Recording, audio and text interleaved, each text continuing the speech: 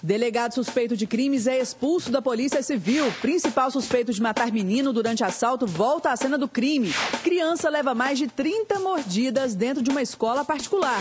Minas Gerais tem os piores índices de casos de dengue dos últimos cinco anos.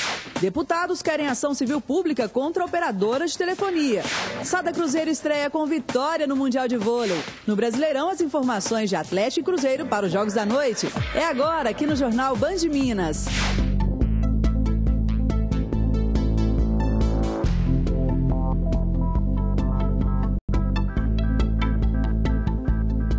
Olá, boa noite. Belo Horizonte recebeu hoje uma audiência pública para buscar detalhes da morte do ex-presidente Juscelino Kubitschek. O caso foi reaberto devido à suspeita de atentado e agora está nas mãos da Comissão Nacional da Verdade cobrar o esclarecimento das circunstâncias da morte do ex-presidente Juscelino Kubitschek. Com este objetivo, deputados da Comissão de Direitos Humanos se reuniram com representantes da Ordem dos Advogados do Brasil e com pessoas que eram próximas ao ex-presidente JK. Juscelino Kubitschek e o motorista dele morreram em 1976, no Rio de Janeiro. A causa apontada foi um acidente de carro. No entanto, 20 anos depois, uma perícia apontou a presença de um fragmento metálico no crânio do motorista, o que motivou a reabertura do caso. Uma perícia muito mal feita, deficiente, precária. E tem a questão do, da morte do chofer. Há uma suspeita enorme que no crânio dele tenha sido achado um, um, um orifício e pode, e pode ser uma, uma bala, né? segundo alguns peritos, de uso exclusivo do Exército. O presidente da Comissão de Direitos Humanos da Assembleia, deputado Dorval Ângelo, cobra a punição dos envolvidos. O que nós queremos é a verdade. E mais ainda, queremos que a Comissão Nacional da Verdade investigue e apure, até se for o caso, responsabilidades criminais de agentes da ditadura que trabalharam nesse. É assassinato que cada vez toma forma mais concreta. Serafim Jardim, que conviveu com JK nos anos pós-exílio, cobra o esclarecimento dos fatos. O caso está com a Comissão Nacional da Verdade. O que nós queremos, simplesmente a verdade. E hoje nós estamos caminhando para isso. O governador de Minas acatou o pedido da corregedoria e exonerou o delegado da Polícia Civil, Geraldo do Amaral Toledo. A demissão que foi divulgada hoje no Diário Oficial do Estado ocorre após um processo administrativo instaurado em 2011, confirmando que Geraldo forneceu registros e licenciamento de dois veículos com procedências irregulares. O crime aconteceu entre os anos de 2005 e 2007. O ex-delegado também responde a processos por receptação e formação de quadrilha. Além disso, Geraldo Toledo Toledo é suspeito de ter assassinado a ex-namorada, adolescente Amanda Linhares, em abril deste ano. Ele está preso sob custódia da Polícia Civil.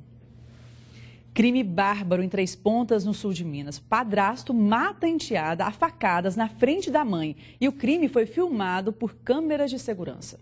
As câmeras de segurança registraram o momento exato do crime. Era um pouco mais de 10 horas da noite quando mãe e filha caminhavam numa avenida no centro da cidade. Juscelino Vitor Dias, de 51 anos, se aproximou e iniciou uma discussão com as duas. Na sequência, atacou Euquelaine Vaz, de 26 anos, com uma faca. A jovem tentou correr, escorregou e caiu. Em seguida, se defendeu e correu novamente. A mãe de Euquelaine também correu. Uma segunda câmera mostra o crime por outro ângulo. A vítima chegou a ser socorrida e levada para o pronto-socorro, mas não resistiu. Segundo a polícia militar, os familiares disseram que o padrasto tinha ciúmes do relacionamento entre mãe e filha. Foi repassado pela vítima, pela mãe da vítima, é que não gostava do relacionamento entre a mãe e a filha. De acordo com o delegado, Juscelino afirmou que tinha bebido antes de cometer o crime. Ele deve responder por homicídio duplamente qualificado. Ele confessou ter feito uso de bebida alcoólica na noite dos fatos, então possivelmente possivelmente ele estaria um pouco embriagado, mas mostrou arrependimento, mas a todo momento frieza. O principal suspeito de ter assassinado uma criança em contagem volta à cena do crime. Durante a simulação, foi verificada se a altura do jovem é a mesma do criminoso, já que a defesa do réu garante que as medidas não batem. A morte do menino foi filmada e gerou muita comoção. João Pedro Avelar Cota, de apenas dois anos, estava no colo do pai quando foi friamente baleado no peito. O pai sobreviveu e hoje não participou do procedimento da Polícia Civil. Um policial da mesma estatura dele foi quem simulou o que aconteceu no dia do crime, que ocorreu no dia 15 de junho. Este é o principal suspeito que está sendo mostrado na imagem. O resultado dessa nova linha de investigação deve sair em no mínimo 30 dias. E foi solto o jovem de 18 anos suspeito de quebrar o vidro de um ônibus durante um protesto na Praça 7. A manifestação em prol da educação, que começou pacífica, terminou em muita confusão. O tumulto começou depois que um grupo tentou impedir que os carros e ônibus passassem. De dentro do ônibus, uma passageira que estava com a filha passando mal gritava para que os manifestantes liberassem a rua. A polícia tentou organizar o trânsito. Esta ambulância teve dificuldades para passar.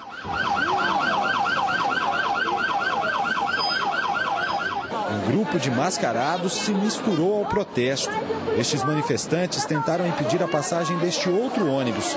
O motorista tentou avançar sobre eles. O grupo revidou, quebrando a janela do veículo. Na hora que eu arranquei o ônibus, o cara veio e quebrou o vidro.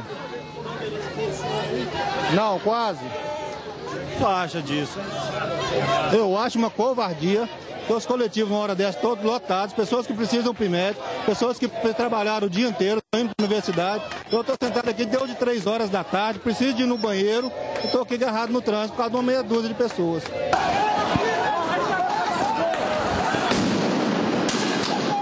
No começo da noite, mais tumulto. Os manifestantes insistiam em permanecer na frente dos veículos. Foi quando a tropa de choque foi chamada. Bombas de efeito moral e gás de pimenta foram usados. Este manifestante que estava na frente do ônibus acabou sendo atropelado e ficou embaixo do veículo. Apesar do acidente, ele não se feriu. O clima ficou tenso na Praça 7. Um grupo de policiais tentava dispersar os manifestantes. A situação só se acalmou minutos depois, quando a tropa de choque foi embora sob vaias. Morreu na noite passada o ex-cabo do Exército, baleado durante uma troca de tiros com traficantes em Betim. Segundo a polícia, o crime teria acontecido no momento em que Alisson Felipe Oliveira cobrava dinheiro de traficantes na região. Ele estava internado em estado grave sob escolta policial no Hospital Municipal de Betim. Os militares informaram que o ex-cabo estava no bairro Santa Cruz e durante uma discussão houve a troca de tiros. Ele usava documentos da Polícia Civil para intimidar os criminosos. Três homens foram presos em São Joaquim de Vicas por suspeita de participação no crime e o caso será investigado. Deputados da CPI da telefonia foram até uma loja hoje no centro da capital e ouviram as principais queixas dos consumidores. Agora, eles vão pedir ao Ministério Público a abertura de uma ação civil pública contra as operadoras. Os deputados visitaram a loja de uma empresa de telefonia no centro da capital, conversaram e ouviram as reclamações dos clientes. A conta veio no valor de 408 e eu poderia estar colocando o valor que eu quisesse no telefone quando eu não tinha essa probabilidade, entendeu? Agora, quando eles fizeram esse plano para mim, eu tenho que pagar 408 e ainda suspenderam a linha. Antes de procurar pessoalmente a operadora, Marco Antônio tentou resolver inúmeras vezes por telefone. Você não consegue resolver. Você paga direitinho, então isso não funciona. Aquela frase ali, ó, não funciona. Você merece ser bem atendido. Você merece muito mais. Isso é mentira. O objetivo da CPI é apurar danos ao consumidor na prestação inadequada de serviços de telefonia das operadoras de Minas Gerais. O objetivo é apurar a responsabilidade das empresas em relação aos consumidores, como queda de sinal, prestação de serviço inadequado, cobrança indevida, que são as grandes reclamações. O coordenador do PROCON Assembleia alerta aos consumidores que se sentirem lesados. No primeiro momento, as pessoas têm que fazer reclamação na empresa, que é o que está acontecendo aqui. Né? Não havendo solução, é, o consumidor ele pode procurar o PROCON, mas lembrando que se a má prestação de serviço gera para ele uma indenização de dano material ou até dano moral, ele tem direito à reparação desse dano. E é através do acesso ao Poder Judiciário que ele vai, por exemplo, dizer que perdeu a sua manhã inteira para ser atendido aqui e não houve a solução do seu problema. E agora mais um caso absurdo dentro de uma escola. Uma criança de apenas um ano foi mordida cerca de 30 vezes dentro da instituição particular de contagem. As marcas das mordidas estão espalhadas pelo corpo da filha. São agressões no pescoço, nos braços, nas pernas, na barriga e até na nuca. A menina tem apenas um ano e dez meses. As agressões aconteceram durante uma festa de confraternização na escola. Segundo a família, um coleguinha de turma de apenas dois anos teria saído da festinha e ido até o berçário onde a menina dormia sozinha.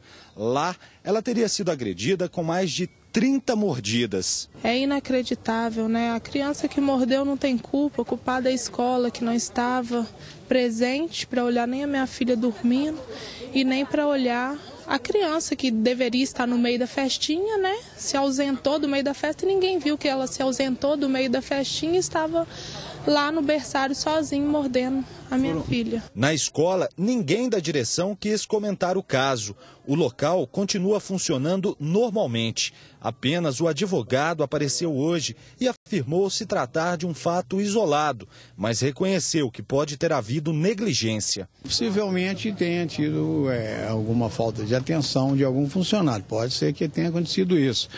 Agora, o histórico da escola é muito favorável à escola, não tem nada que desabone, não. Os pais registraram boletim de ocorrência e descobriram que o estabelecimento funciona sem alvará da prefeitura e não tem registro na Secretaria de Educação de Contagem. É, é muito revoltante da gente, é, numa situação dessa. É uma escola particular, é uma mensalidade que não é barata. Teoricamente, a escola tem uma estrutura boa, mas é, profissionais, pelo que a gente vê, que não são qualificados para a função. A seguir, ônibus com problemas até nos freios são apreendidos em Minas. E veja também que o número de mortes de dengue aumenta 500% no estado. É daqui a pouquinho, aqui no Jornal Band Minas. Agora são 7 horas e 2 minutos. Eu volto já. Jornal Band.